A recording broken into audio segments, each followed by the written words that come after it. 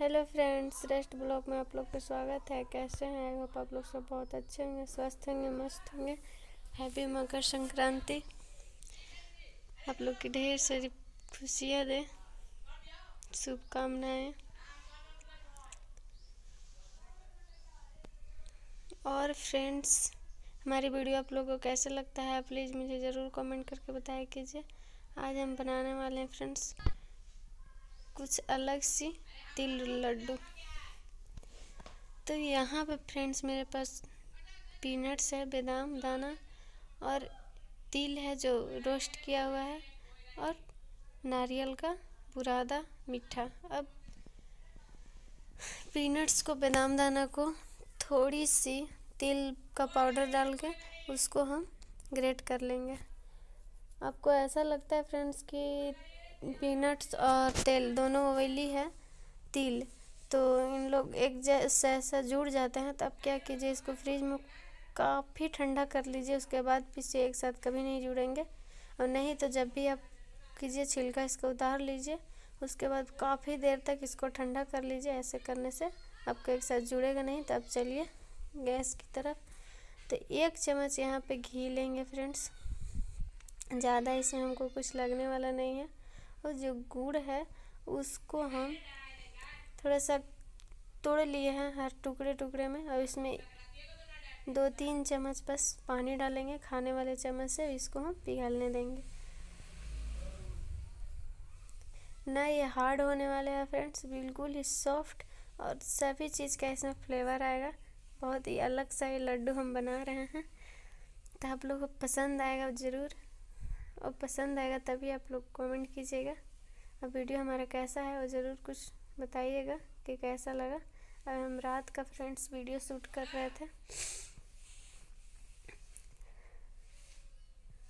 तो इसको मिलने देते हैं फ्रेंड्स।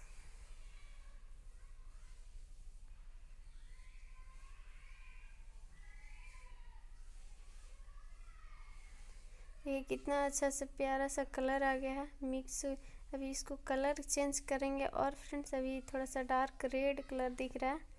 अब इसमें डालेंगे थोड़ा सा बेकिंग पाउडर। इसको डाल के मेल मिक्स करेंगे झटपट से। ये देखिए कितना अच्छा सा बबल्स आ रहा है और ये देखिए कितना अच्छा सा कलर भी आ गया।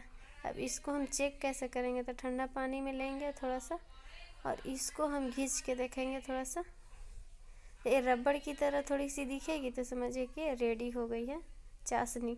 अब इसमें हम फट से डाल देंगे जो पाउडर हमने बनाई थी वो तिल और पीनट्स का। अब इसको मिक्स कर लेंगे।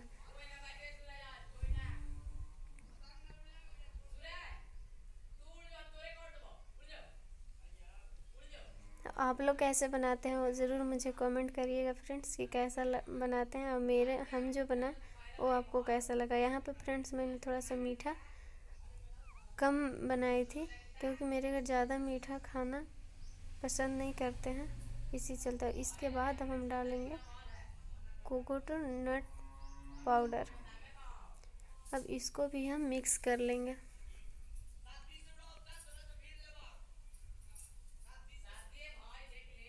तो ये देखिए फाइनली मिक्स हो चुका है। तो अब हम इसको छोटे छोटे लड्डू का शेप देंगे। तो उसके लिए पहले हम हाथ में थोड़े से लगाएँगे घी।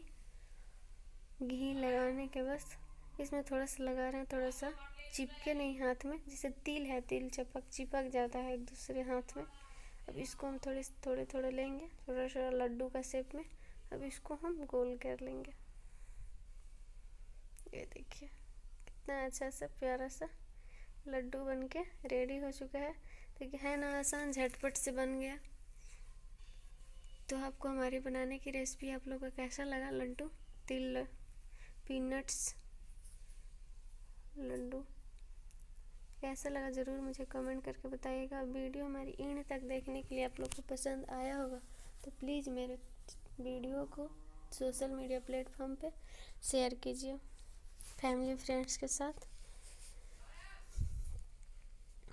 और एक तिल मावा रोल मैंने भी दे चुकी है वीडियो, वो भी जाकर देखिए, आप लोग को बहुत ज़्यादा पसंद आएगा। तो ये देखिए फाइनली लुक थैंक्स फॉर